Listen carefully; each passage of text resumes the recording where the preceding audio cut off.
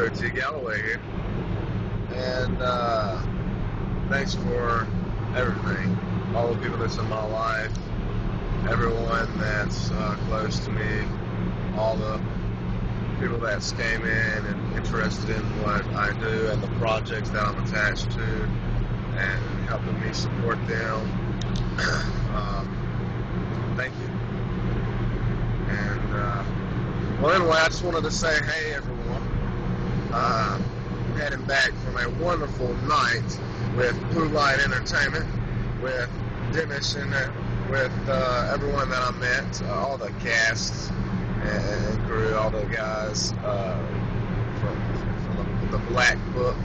It was a phenomenal private screening. Private screening. It was. I mean, I think there was over hundred and some people. It was beautiful.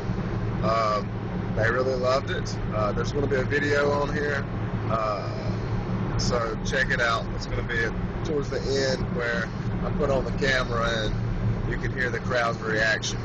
So they took they took it well, and, and, and they had some comments afterwards uh, talking about the Alzheimer's uh, and, and how it really is a, a big part in life, big deal, and uh, that, that uh, the awareness is played through in the video and and, and how that ones that made the comments, how they have family members that deal with it, and they said that it was a good portrayal of, of the story. Uh, so that's a really good honor for Demi and uh, Al G to, to, for, the, for that uh, to be said because they, they did a phenomenal job.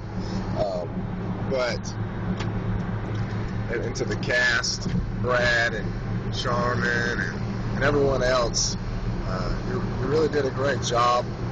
I mean, seriously. And I'm so blessed to be a part of your cast. Thanks, guys. And uh, it was fun. But uh, yeah, so to everyone else, uh, when you get the opportunity, you'll, you'll, be able to see the Black Book. And uh, uh, there's talks for something else about it. And then there's talks about other projects. So be prepared, guys. Um, stay tuned. And uh, I'm heading up to Greensboro now from Lawrenceville. Love Lawrenceville. It's really, really close knit of people. Um, but heading back from Lawrenceville, uh, going to Greensboro, North Carolina next. And uh, have faith and believe.